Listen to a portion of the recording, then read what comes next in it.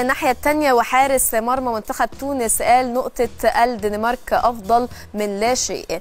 أكد حارس مرمى منتخب تونس أنه هو وبقية اللاعبين دخلوا مباراة الدنمارك امبارح لحصد نقاطها كاملة خصوصا أن هي المباراة الأولى لنسور قرطاج في مونديال قطر 2022 وقال الحمد لله إحنا كنا جاهزين بالشكل المظبوط دخلنا اللقاء بهدف الفوز لكن اكتفينا في النهاية بنقطة وحيدة هي أفضل من لا شيء وقال الحمد لله قدمت المستوى اللي ساعدت بيه زمايلي للخروج بالتعادل. وإن شاء الله نكون أفضل في المباراة القادمة أمام أستراليا ونحقق الفوز لدعم فرص تأهلنا للدور الثاني. وقال أجرينا التحضيرات اللازمة لدخول المونديال من الباب الكبير ودخلنا في صلب الموضوع منذ بداية اللقاء. كل اللعيبة تكاتفوا للدفاع عن حظوظنا أمام الدنمارك وخلقنا عديد من الفرص لكن الحظ يعني ادانا ظهره وتعادلنا وهي نتيجة تبقينا في السباق.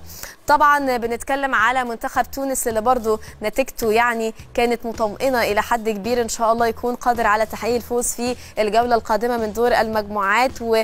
ونتمنى طبعا نشوف أكتر من منتخب عربي بيتأهل إلى الأدوار الإقصائية وتحديدا لدور ال 16 من قطر 2022 وكل الأعين والأنظار بتتجه في التوقيت الحالي إلى المنتخب المغربي اللي تقريبا في حوالي ساعة هيكون داخل أرض الملعب في أستاد البيت علشان يخوض مباراة هامة ليه في افتتاح مشواره اتجاه تحقيق إنجاز إن شاء الله عربي إفريقي بشكل كبير جدا.